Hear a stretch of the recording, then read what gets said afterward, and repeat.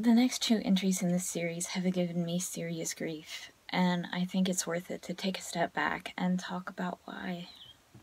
The subject of one was to be the various problems with words in general and my specific dark night of the soul, which is still going on, touching again on hypergraphia or the irresistible compulsion to write without surcease which eventually becomes like a cycle of scratching bug bites that worsens the desperation, and the flood of words gets more intense and emotional, and the more I resist, the more violently it persists. The subject of the other was to be about story, and for that subject I felt great apathy and pointlessness, which reflects where I am with that too. I didn't get this way overnight.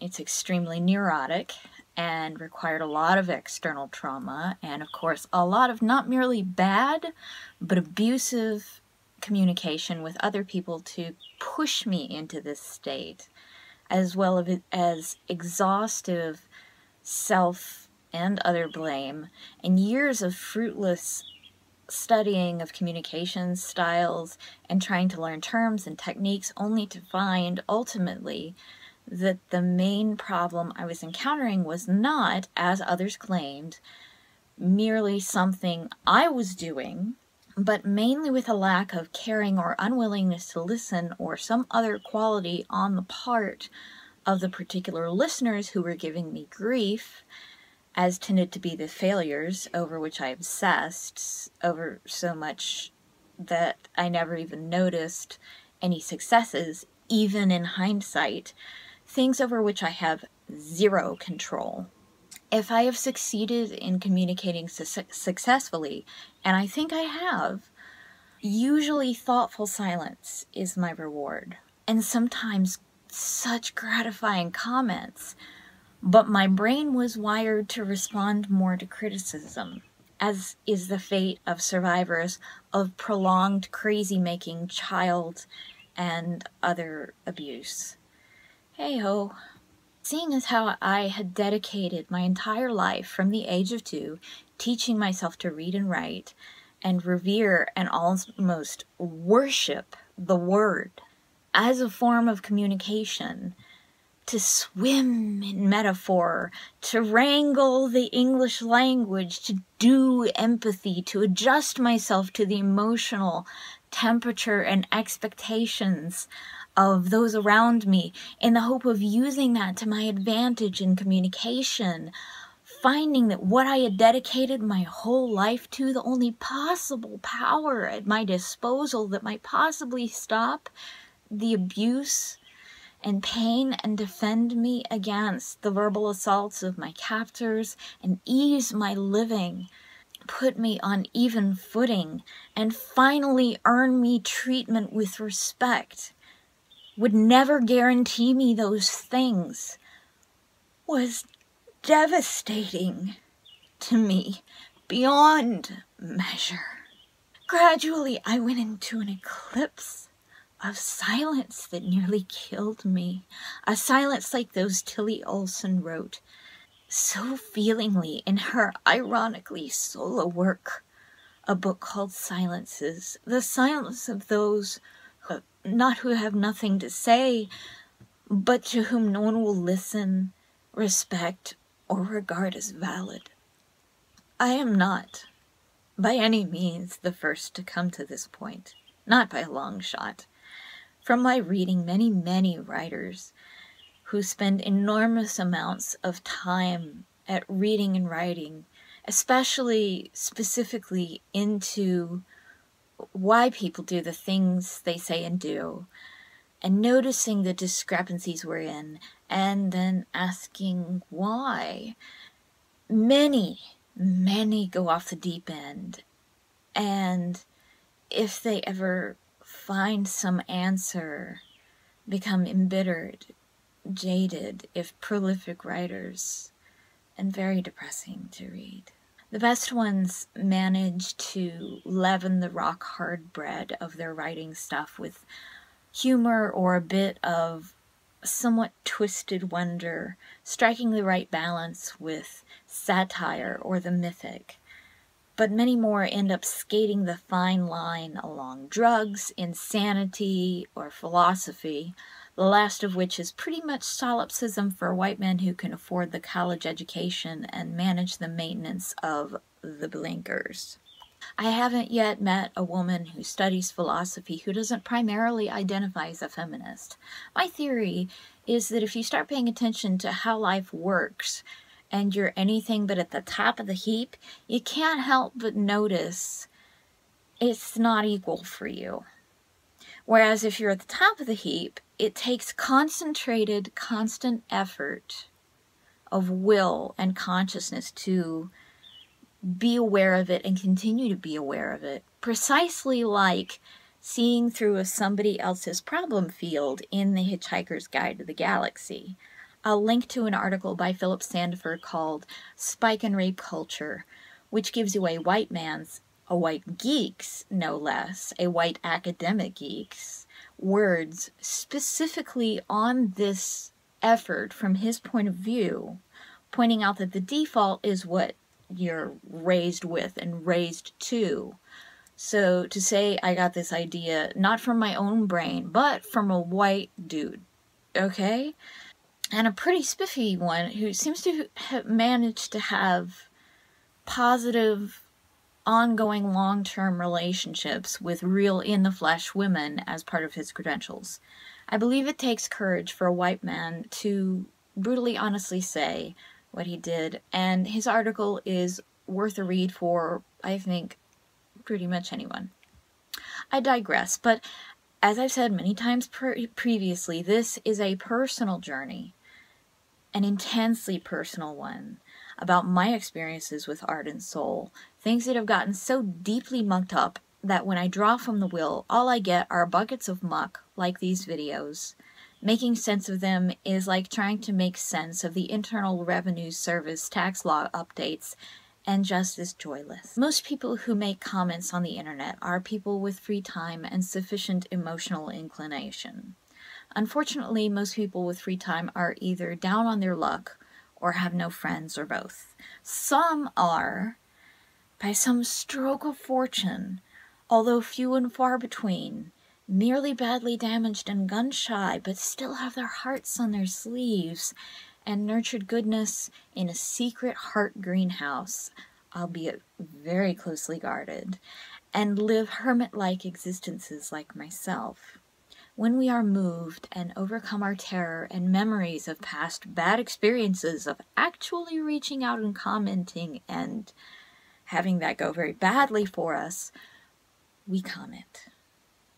Unfortunately, too many of us are commenting to people who are also gun shy and hermiting away, like myself, and maybe hiding from comments in general, which I am right now because the majority of people who comment on the internet are bitter, full of unchecked anger and directionless malice, and spread it around with large shovels, and have lots of free time because they're bitter and full of anger because no one wants to spend time with them and they keep losing things and people in situations they enjoy because of a recursive feedback loop they're now helpless to break. And I'm not saying that I may not also be on the spectrum of these people as well. They've decided to say screw it and give themselves over to full time internet bitterness. I've heard that siren call myself which is the new massively multiplayer international sport of the information age, where every individual is more or less their own team making up their own rules. Actually, there are no rules, and alliances are never permanent.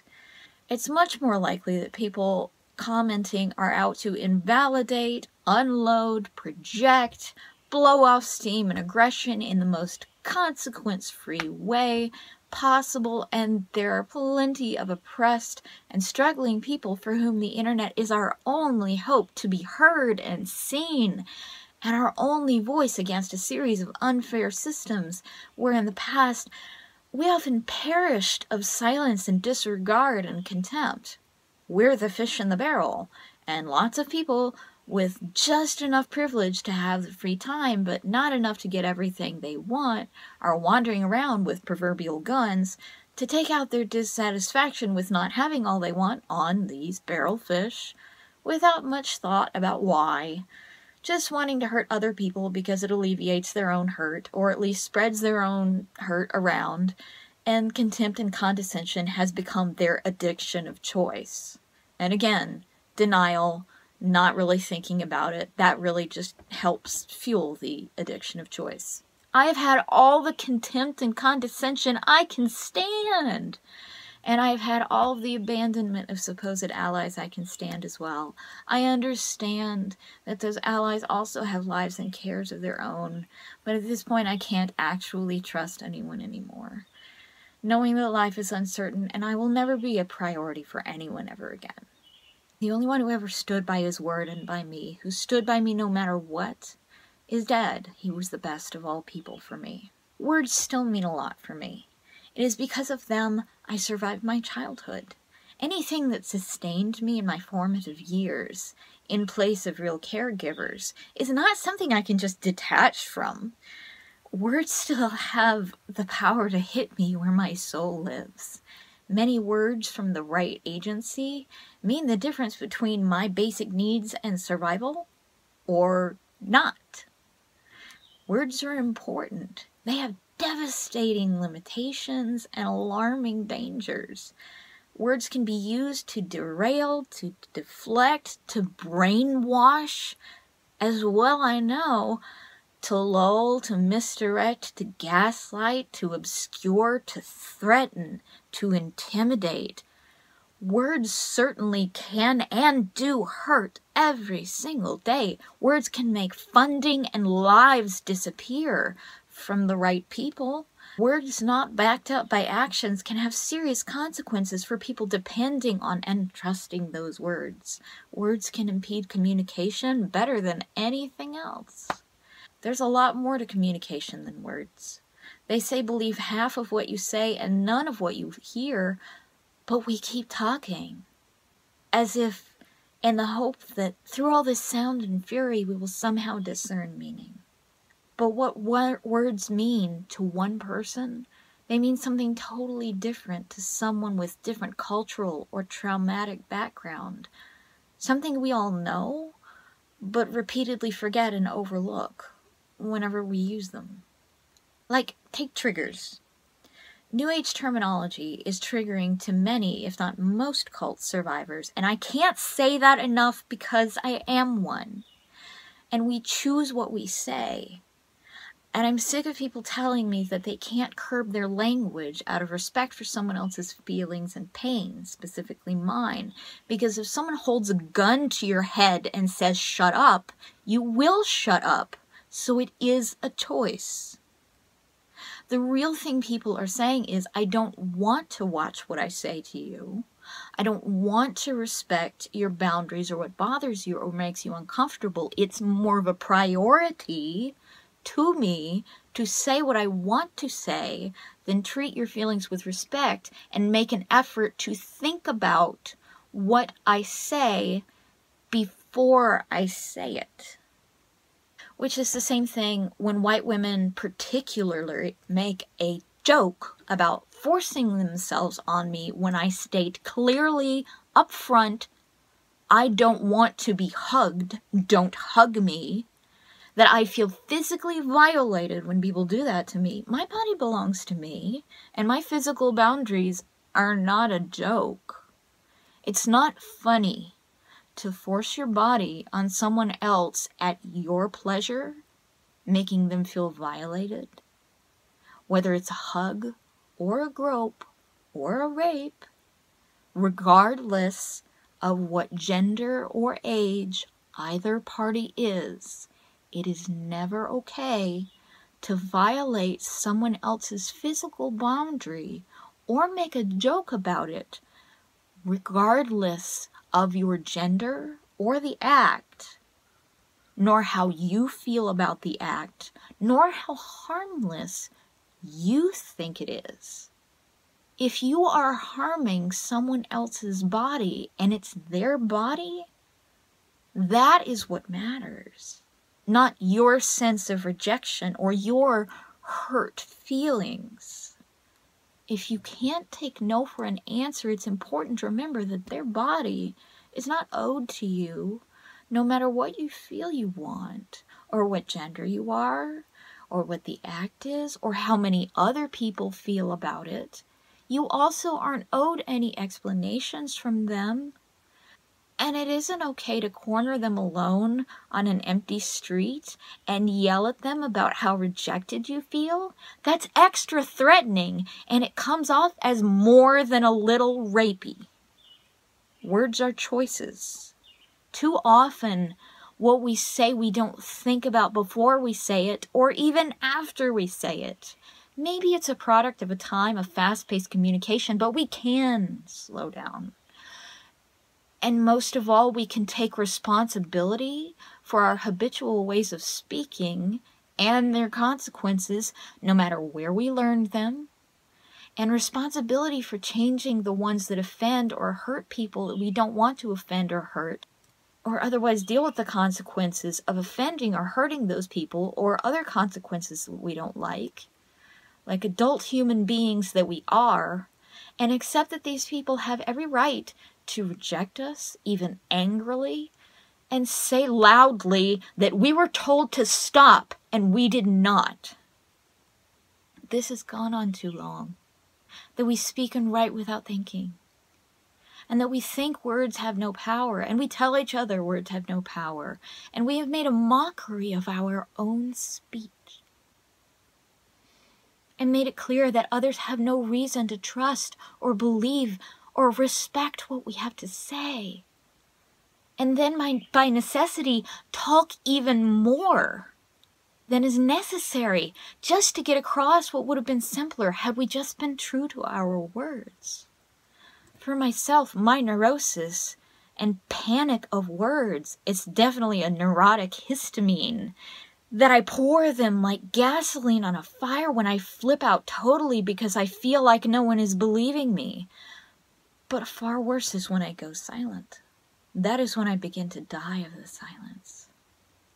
A recurrence of that silence is why I threw out everything I'd written before about words for this video and wrote down this instead except to say this it goes on the long dark night of the soul that I found, of hurting because words no longer danced and spun like a river of stars and truisms and secrets half whispered on the almost invisible razor edge between waking and sleeping, slithering through the crack, particles of inspiration, momentary visions, some spinning between Clotho's fingers, drawn into Lachesis tapestries, trimmed by Atropos's into nice, fat little stories.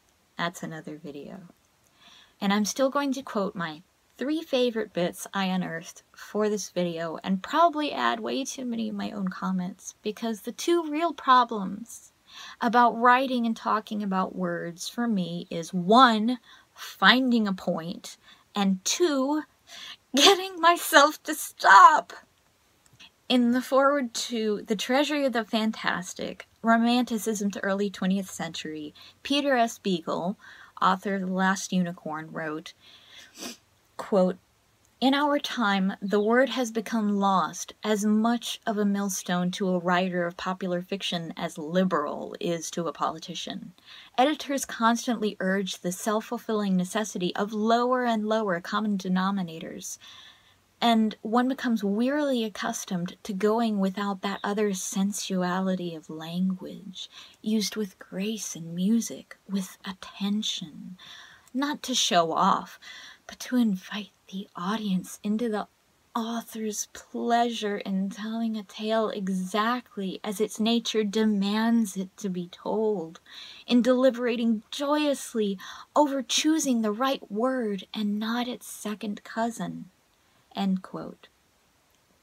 It was one of those frisson moments for me that electrified my spine, even more so than any story or word in the rest of the 748 page hardcover anthology, which included some of the most classic and well known tales of the fantastic, like Kubla Khan and Sleepy Hollow and Jabberwocky, a personal longtime favorite, and Mort d'Arthur, and so on.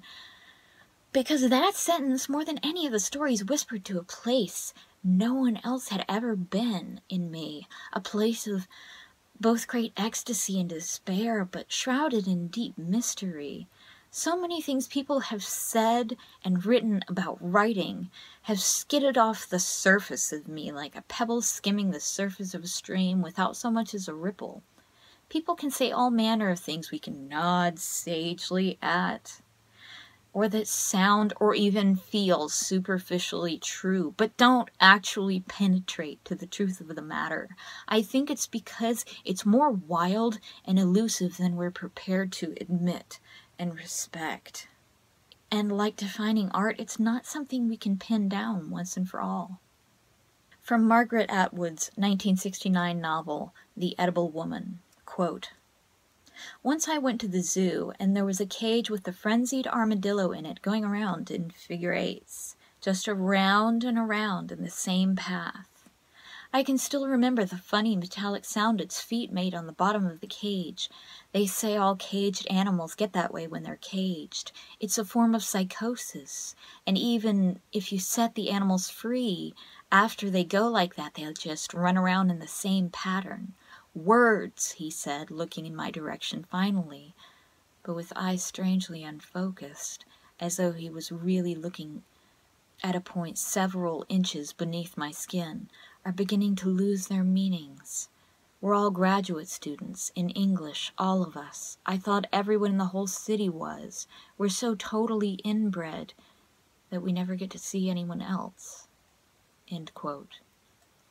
Later, quote, what else can I do? Once you've gone this far, you aren't fit for anything else. Something happens to your mind. You're overqualified, overspecialized. Something happens to you're overqualified, overspecialized, and everybody knows it. Nobody in any other game would be crazy enough to hire me. I wouldn't even make a good ditch digger. I'd start tearing apart the sewer, sewer system, trying to pickaxe and unearth all those chthonic symbols, pipes, valves, cloacal conduits. No, no, I'll have to be a slave in the paper mines for all time. I only just recently read this, and so it's in a way disheartening, even though I already knew this to read the conclusions I was already coming to from the mouth of a fictional Canadian printed 11 years before I was born. I knew in my soul that on some level, writers sort of know about this. Some on some uncomfortable level, and the degree to which we are consciously ruminating on this is the degree to which it drives us insane or into academia, which is insanity with tenure for the handful of people who can both afford it and stand it which I am too disabled and poor to do either of those.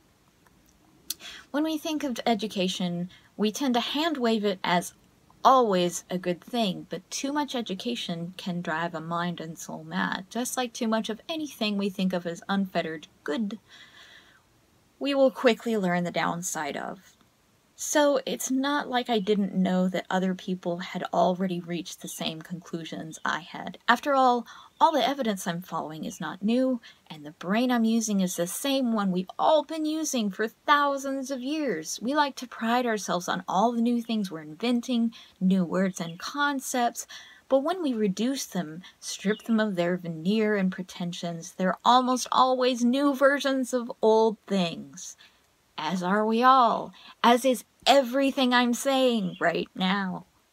I guess what gets to me is that how many times do we have to reach this conclusion, and how many ways do we have to write it down, or sing it, or inscribe it, or communicate it to one another? It's almost like every single person who reads and writes a great deal is on a journey, and that they all, if they keep on at a fair, enthusiastic bound, reach the place where the sidewalk ends, this sheer cliff of insanity, of torture, dizzying heights, where we realize the gross excesses of language we have brought ourselves to, and the sublime irony of Samuel Beckett's words quote, every word is like an unnecessary stain on silence and nothingness, end quote. Now, write that on your body a thousand times and drink a fifth of Scotch whiskey and wait for Godot. Only really, really don't. So it's ironic that I know that words have driven me mad, but, like a bug bite, I keep using words to scratch that itch, even knowing that it will make the matter worse. How many fruitless words have I expelled uselessly, painfully, fitfully through agonized insomnia and withdrawal from all reality except words, until I can't do anything except breathe words in and out, and any time spent away from words is like a blow upon a bruise or a storm washing me overboard and dragging me under. As much as I write, when it comes time to speak, too often I'm silent not because I have nothing to say, but because I have too much to say, and not enough sense of what will happen in response to anything I do choose to say of the many options, and having had so many shockingly, surprisingly, alarmingly, traumatizingly bad things happen unexpectedly in response to things one would not think of as provoking or out of the blue until I'm painfully aware just how dangerous and vicious human beings are capable of being and how duplicitously calm they frequently appear on the surface while being so, and how gratefully blind and quick stepped everyone else becomes while this is happening, glad that it's not them that it's happening to, and how fickle and backstabbing supporters can be when anything bad happens to me for exactly the same cowardly reason that it's not them that it's happening to. Words haven't changed this. Words haven't made this better. Words haven't even made this clearer to each other or ourselves or myself. I can say these things to people, and all people have to do is just deny, deny, derail, deny. I can say these things to people, and all people have to do is just deny. And that's something people learn at the age of two. No! And refine all their lives with more and more syllables in order to make reality as comfortable around them as their privilege and influence and mental might can afford. Words haven't changed this either. It's been this way since we were children, both as a species and as individuals. And finally, from Leonard Cohen's song Suzanne, there are heroes in the seaweed. There are children in the morning. They are leaning out for love, and they will lean that way forever. While Suzanne holds the mirror. And not just the words, but the melody. If you've never heard the song, go listen to it. He's not the only one who records it.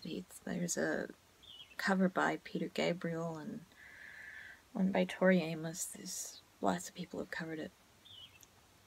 It's not the only scrap out there, I'll admit, but it's one of those snatches that I'll listen to over and over again, and it breaks my heart over and over when I hear it. it gives me that profound, almost painful melancholia.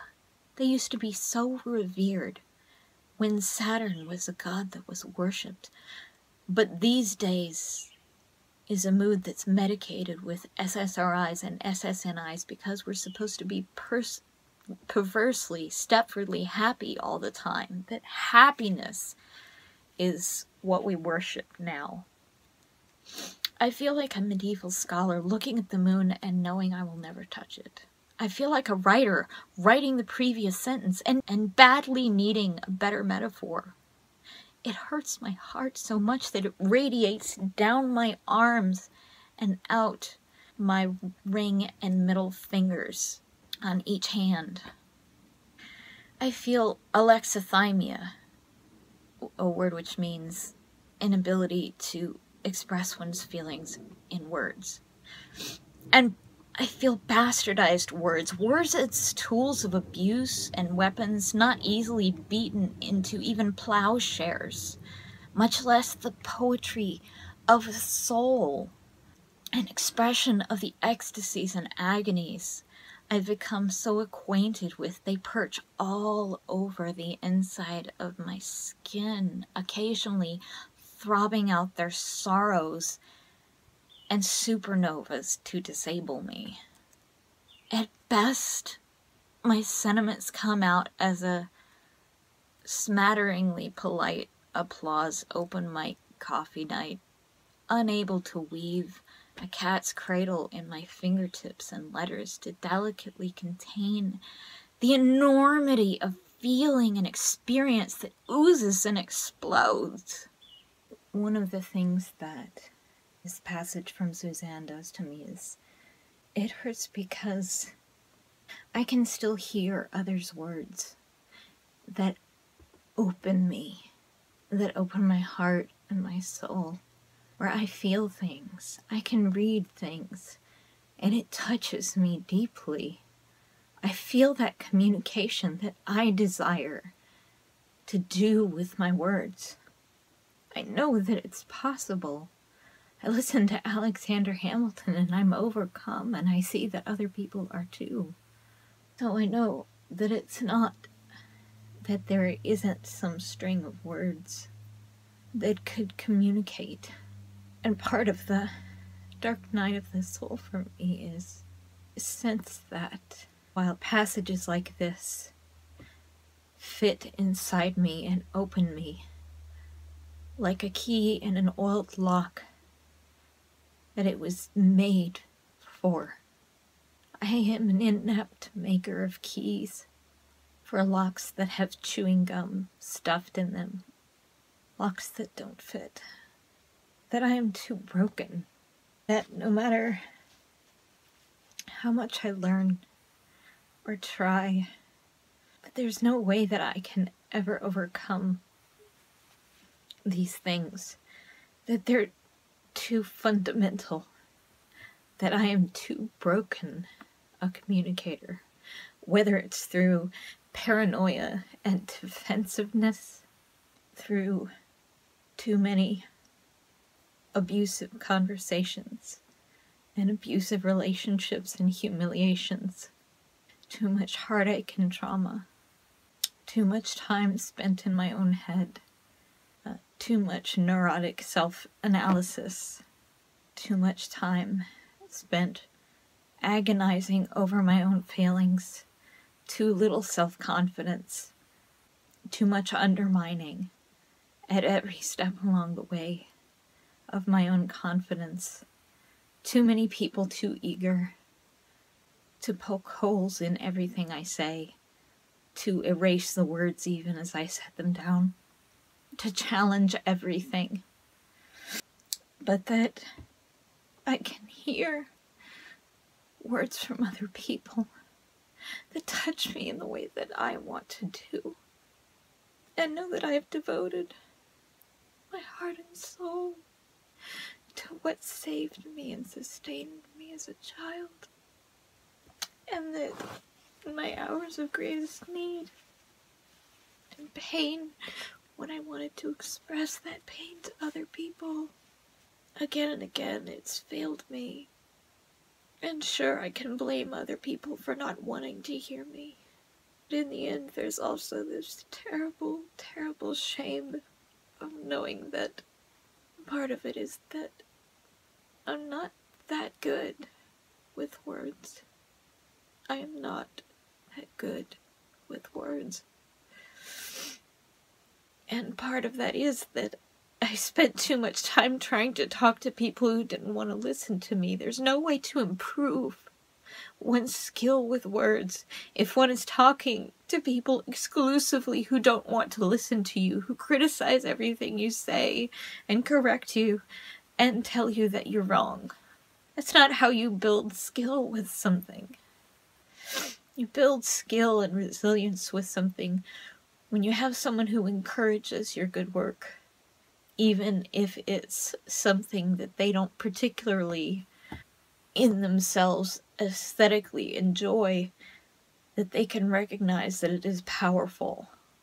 Those are good teachers. And there are precious few of them. And being an autodidact and not liking myself very much means that I don't have that kind of a teacher. And I'm all too aware when I listen to Hamilton, when I listen to Leonard Cohen's lyrics, when I read a book that touches me deeply, that reflects something that touches me in a way that I would love to be able to use words to touch other people. I wish I was better with words. I think because I don't know. Investing my words, my time, my energy in making something, in curating myself and my words and my thoughts had in the past felt so much more rewarding and joyful. I never really had friends who valued the same things that I did. Even when I tried to make friends with other artists, they were so terribly insecure and competitive and catty. And frankly they brought their egos and shallowness rather than a very deep and abiding soulful need for this art, for this passion, this higher passion. Um, but that just ties back to the art and activism and why those two things overlapping appeal to me so much more than the two things separate. I did the best that I can. I keep going. But I don't think it'll ever not hurt to hear some deeply, profoundly touching turn of phrase, particularly musical, because I couldn't write a song to save my life, and feel so inadequate, knowing that I would give anything to have that capacity to take, as the line goes and goes, to take all my emotions, all my hate, all my rage, all my passion, all my love, everything, ram it down into my gut, and then push it out my finger, not to flick a bottle cap with my ghostly, unearthly form but into just the right words so that all of that emotion, all that rage and pain and hate and ecstasy and passion goes through that word, that through those words, so that the majority of people who read them, who hear them, would be at least for a moment arrested enough to listen, to stop and hear, as if something really unusual, some never before smelled scent had wafted their way, overpowering them in their tracks, just long enough for them to pay attention, just long enough to get past that thick shell we all walk around with. Just long enough to have that chance that they could feel it too. I've fallen short of the only thing that I ever really tried so hard to do. Even allowing for the fact that you can't please all the people all the time, and that not everyone is going to want to hear what you have to say and that I can't base what I have to say on what other people want to hear. because I tried that for a really long time. And that sucks.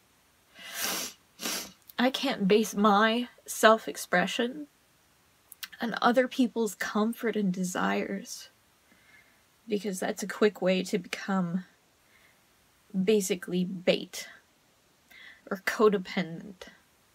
And that's happened so often that it's made me even more brittle and paranoid and withdrawn and unable or perhaps unwilling to engage in two-way communication with other people, to even read comments or emails from other people. I know that uh, that doesn't help very much. But the times that I have tried, oh, and there are so many, many, many times that I have tried to come out of my shell, have reminded me why I retreated into my shell in the first place and the second place, and the third place, and again and again. They remind me why I keep building these walls up again until I feel so lonely and isolated and quarantined and sick and defective that I tear them down and I reach out and try to make an honest connection with another human being. But I don't know how to do that without being who I am. And that leaves me, unfortunately, extremely vulnerable because of how different I am to everyone. No matter how hard I try, it's rare, if not impossible, to find someone who has the practice and the capacity to meet me halfway to make the equal effort on their own part. I love words. I love them so much for what they've brought to me, all the gifts they've given me, the solace and the comfort that I haven't gotten from other people, the way that they've nurtured me and given me hope and validation where people have repeatedly failed me. And it's funny because they're the words of people. But they're curated. You know, words in art, words in books, words that people have taken the time to think about, to really honestly think on before they put them together. And there's that essence of consent where I seek out these words and I absorb them, but at any time I can say stop. And many times I have closed a book, stopped listening to something, and put it away. But you can't do that in real time, face to face with a person. I get along with art and with books so much better than people. Because those things have been as a result of real effort to communicate something of genuine meaning and feeling. Whereas most communication, most words are wasted on what we wish were true, or hiding what's really true, or static, or bullshit, trying to convince ourselves and other people of things that isn't that aren't true, repeating things ad nauseum. So many words wasted. It reminds me of the line from V for Vendetta during the prolonged flashback where Valerie talks about the emerging totalitarian state, where she says, I remember how the meaning of words began to change. And it made me think so much about politics, about things like the Clean Air Act and the Patriot Act, and how often in politics there are buzzwords, things that obscure the real meaning of what's going on. And it's the same in abusive relationships. Words like love used to uh, cover over what's really going on behind closed doors. And then in advertising and commercials, like the line from Roxanne words are all used up. How can I use a word about you that someone uses about a floor wax? How can you love a laundry detergent that we've almost abused and debased these words to a point where where we can't respond to them appropriately that we have to go to such extreme lengths to set ourselves up to repeat them over and over again to set the mood to surround the word with so much ritual and setup and, you know, mood lighting and candles and everything and all of this stuff just so this one simple word expresses what it means for that person. And even then, the actions have to match with the word. But at the same time, how can I then read a book that's only words and that's all that there is? and be touched so deeply and moved so deeply. And rather sit at home with a book than go out and talk to someone face to face. Well, for one thing, it's a lot safer. A book's not going to force me to hug it. I can close a book. If you say no to a person, sometimes they don't stop. Quite often they don't. Most of the time, the word no just starts an argument. And that's really scary to somebody who has no allies, no backup, and no resources, and has been targeted for violence a lot. But books have never followed me home and done things to me in my sleep. It's the thing about that I love about um, art, I guess, is the curated and thoughtful nature of it, the cultivated nature of it someone has taken time and thoughtfulness with it. And that conversations are so much more like reckless driving, often with blindfolds on. And yet we use the same language with both. Words have whipped me like barbed cat o' nine tails, and I really know whereof I speak when it comes to that metaphor. Words have arrived with all the warmth of bricks thrown through windows in pre-printed government letters and vented spleens on the internet, having nothing to do with me and everything to do with the roving embittered, among which it is my misfortune to rove at times. Simple words don't do. They lie.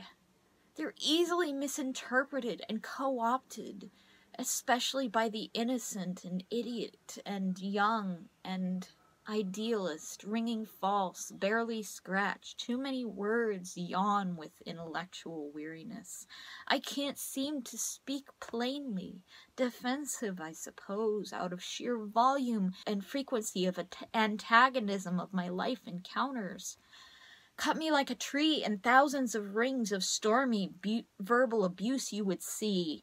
No matter where i go for the crime of being honest of saying no of resisting of being myself when myself is a thing that is different that has been struck repeatedly by more than you can imagine by looking or even listening whatever i see i defend preemptively and for some obvious reasons that repels.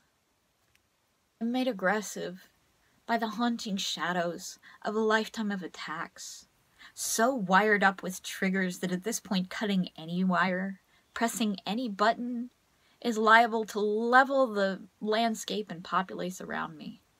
And the DSM 5 deigns to call this something like borderline personality disorder and PTSD, and ignorant people who don't have to live with the results natter about medication like magpies, as if medication rewrites an entire past or a personality in lifetime forged throughout decades, or rewrites the future, or replaces income and a failing body and memory and identity, or changes capacities laid down while everyone else was having what most people think of as normal social and living experiences, and I was off being brainwashed and having my body and soul violated in ways you can't imagine, and I can't expressed to you using these faint words. words, there are infinite combinations. I spent so much of my life looking for the right string, as if it's some coding puzzle. But knowing frantically on some level that there is no right recipe, that people aren't computers, because different people understand things differently. Everyone is running a different operating system, and in the end, I don't really understand me at all. As much as I see shards of me reflected here and there, in this book, in this story, in this poem, in this. Like glintings of mica on a gravel path, the mirror is broken, and there is no true reflection in all of this world of who I am entire. There is no way to paint a picture in words of who I am. No single sentence, or poem, or word, or story, or novel that could express and explain myself, you see, because I'm not myself, you see. I am Alice through the shattered looking glass. There is no coming back. There is no back to come back to. Back is an illusion, a lie, and always was. The story is broken words ground to meaningless sand. The next video is about story. I only hope I can make it. Thank you for watching.